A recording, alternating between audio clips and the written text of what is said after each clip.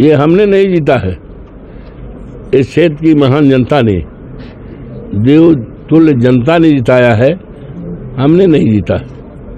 Total देश में विश्व भाजपा की कार्यशैली कार्यशाला मानी जाने वाली अयोध्या को आपने विजय किया है। सब पोल पट्टी खुल गई। जो ढका तोबा था अवधेश प्रसाद जैसे दिल्ली पहुँचेंगे सारा देश दुनिया जानेगी। वेट। उनका कहना था कि जो राम को लाए हैं उसको हम लाएँगे। ये तो पूरी तरह से बहुत झूठा है। उसी तरह झूठा है।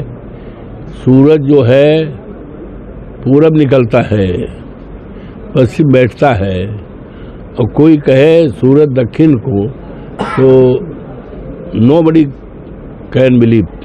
तो ऐसे है ये ये राम को लाए हैं। राम के ला, लाने वाले लोग हैं। राम तो बहुत हज़ारों लाखों वर्ष पहले आ चुके हैं। राम तो जन जन में हैं। राम को कोई लाए नहीं है। ये तो राम को लाने वाले नहीं हैं। राम के नाम पर व्यापार करने वाले लोग हैं। ये पोल पट्टी सब खुल गई। देश जान गया, ये राम को लाए हैं। ये तो खुद राम बन रहे थे। क्या क्या प्रधानमंत्री जी सोच रहे थे? हम अवतार लिए हैं, हम अवतारी हैं। ये स्वयं राम बन रहे थे। ये तो ढोंगी लोग हैं। प्रधानमंत्री ने तीन बार लगातार अयोध्या का दौरा किया। कैसे प्रधानमंत्री जी तीन बार आए।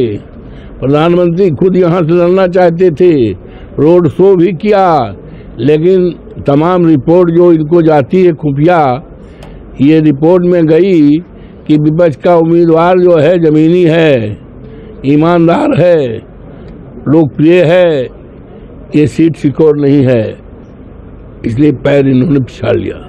जब आप मैं जब आपको पता चला प्रधानमंत्री लड़ने वाले तो आपके अंदर कैसी खुशी महसूस हुई थी जी? आपको भी कैसी खुशी महसूस हुई थी कि हम प्रधानमंत्री पक्ष में हम तो हमेशा खुश रहते हैं। प्रधानमंत्री लड़ते चाहे कोई लड़ता। हमें तो अपने देवतुल्य जनता पर यकीन था भरोसा था। हम उनके भरोसे पर उनकी ताकत हनुमान जी की कृपा पर हम आश्वस्त थे कि चुनाव हम जीतेंगे। हंड्रेड परसेंट आश्वस्त थे? आप तो समाजवादी पार्टी के राष्ट्रीय महासचिव हैं। जी नो डाउट ऐसा ऐसा क्या आपने सभी कार्यकर्ताओं ने वोटिंग भरी कि पाँच सीट से सैंतीस सीट आएगी क्या मुद्दा था? मुद्दा था हमारी पार्टी हमारे नेता माननीय अखिलेश यादव श्रद्धेय मुलायम सिंह यादव की नीतियों का था कार्यक्रमों का था जिनको जिन पर लोगों को यकीन विश्वास है सत्ताईस का चुनाव होगा देख लीजिए सफाया रहेगा। बीजेपी विरोध में बैठने लायक भी नहीं रहेगी एक तरफा हमारी सरकार बनेगी। तो जनता तो सब जन, जानती है जनता की परख इतनी अच्छी है उतना तो कोई नहीं जानता है। राम मंदिर एक बड़ा मुद्दा था भाजपा के लिए।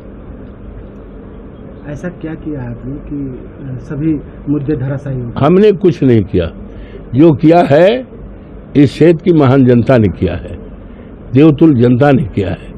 हमारे आदरणीय बुज़ुर्गों ने किया है आदरणीय माताओं ने किया है आदरणीय बहनों ने किया है आदरणीय बेटियों ने किया है और समाज के आदरणीय सभी वर्ग के लोगों ने अपना आशीर्वाद भी दिया समर्थन भी दिया वोट दे दिया आर्थिक मदद भी की। ये उनका करिश्मा है। राष्ट्रीय अध्यक्ष जी लगातार आपसे कल से दो बार बात कर चुके हैं? बुलाए हैं आपसे। अब ये तो चलता रहता है अभी सब। सब बताने वाली चीज़ें? नहीं।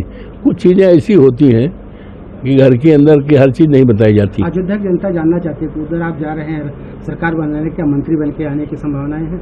देश अयोध्या अयोध्या ये तो जो। जो जनता की कृपा होगी हनुमान जी की कृपा होगी और हमारे नेताओं का जो आशीर्वाद होगा होगा। अपने आप दिखाई पड़ेगा हम पहले कहे always hope for the best राष्ट्रीय महासचिव होने के कर्तव्य में क्या रणनीति है आप लोगों की?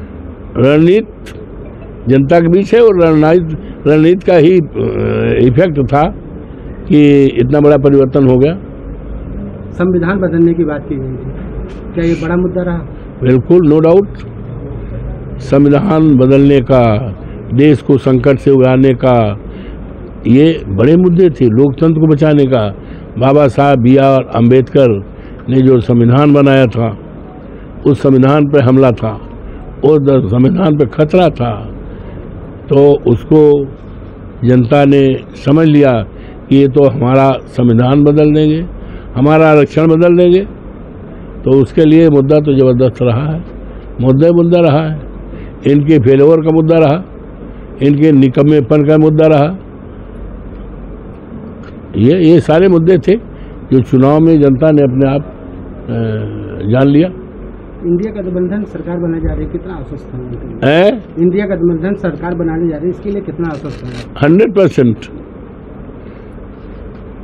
We I am hundred percent confident कि सरकार बनेगी। प्रधानमंत्री का चेहरा किसको किया जा सकता है? संभावनाएँ किसको किसको ये सांसद सब तय करेंगे हमारे नेता लोग तय करेंगे। इंडिया गठबंधन के नेता लोग सब तय करेंगे पार्लियामेंट और प्रधानमंत्री बनाने का कहीं कोई स्ट्रगल नहीं है कहीं कोई टकराव नहीं है। और अगर आपको किसी के राय है बनवाना चाहे तो बता दो। आपकी बात भी बात भी हम रख देंगे कि आपकी सलाह ये है। हाँ भाई प्रधानमंत्री का चयन के बारे में हम रहेंगे तो आप कोई सिफारिश करना चाहते हो इसलिए बता दो। प्रधानमंत्री हर आदमी अपने को चाहता है।